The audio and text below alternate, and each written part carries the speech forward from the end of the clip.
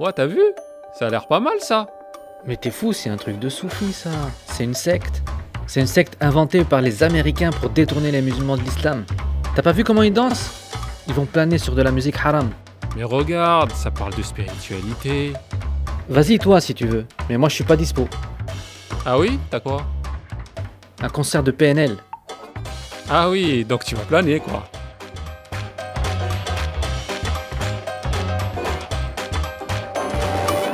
Le soufisme est la dimension euh, spirituelle intérieure de l'islam. De l'islam sunnite pour des raisons à la fois de, doctrine, mais des raisons historiques. Le terme soufi ou bien tasawwuf apparaît maintenant, d'après les dernières recherches, déjà sous l'époque de Muawiyah, donc le premier euh, représentant ou bien calife de la dynastie omeyyade, c'est-à-dire vers 700. Donc c'est très tôt. Mais ça existait le soufisme au temps du prophète? Si le terme soufi n'est pas scripturaire, il n'est ni coranique ni dans la langue du prophète, il en va de même, il en va exactement de même pour toutes les disciplines, pour toutes les sciences de l'islam. À l'époque du prophète, euh, ou dans le Coran, on ne parle pas plus de fiqh ou sul al-fiqh, les fondements du droit, on ne parle pas de, de al-tafsir, donc le commentaire du Coran, on ne parle pas de al-kalam, de la théologie.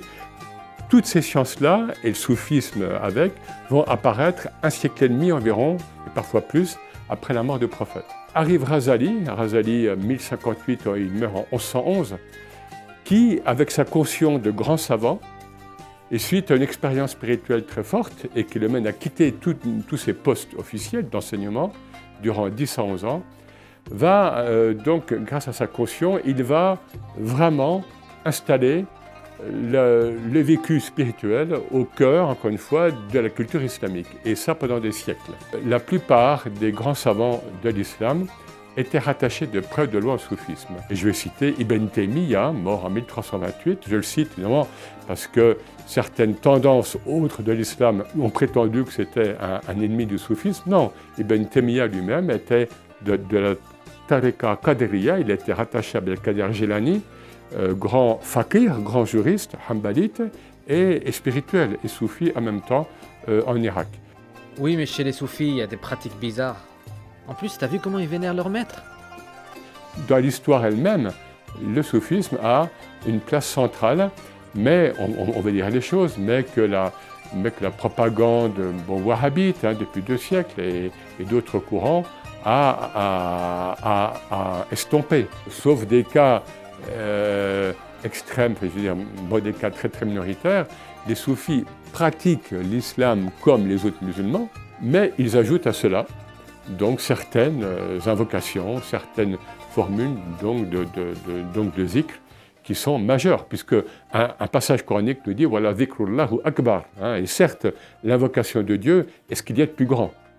Bien souvent, les gens disent le soufisme, c'est les confréries, donc le rapport entre disciples et, le cher, etc.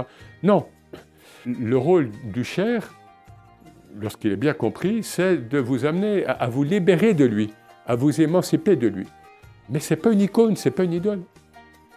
Si ça peut arriver dans tel ou tel groupe qui est une trop grande vénération, bon, c'est un phénomène humain, mais ce n'est pas, ce n'est pas l'éthique du soufisme.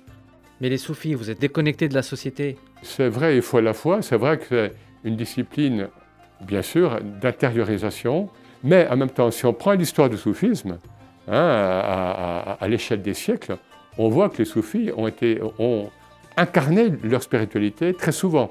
Un exemple connu, évidemment, c'est l'émir Abdelkader, qui est un grand spirituel et qui, euh, a dû mener pendant 17 ans donc, la guerre contre euh, l'armée française, qui était la plus grande armée du monde euh, donc, entre 1832 et 1847. Mais justement, il, il agit, il, il fait la guerre en soufi. En pleine guerre, il prend contact avec des responsables chrétiens en Europe, parce qu'il il voit au-delà.